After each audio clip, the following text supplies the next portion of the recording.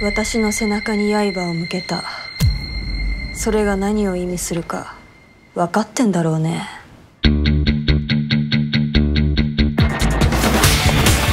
かけろ会員の倉間蘭子といえば泣く子も黙る女バクトや。関西の広域暴力団ですよ。先月からうちの島で動いてまして。1000万の借金抱え込んじゃったの。待ち焦がれたぜ倉間蘭子。これはあなた一人の問題じゃありませんよ鞍馬組の存続と俺たちファミリーの人生がかかってるんです。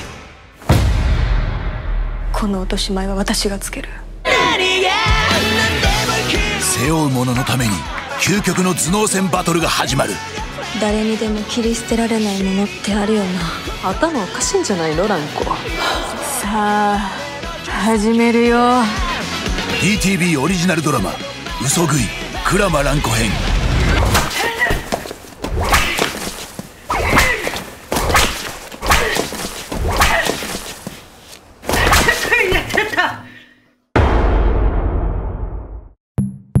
DTV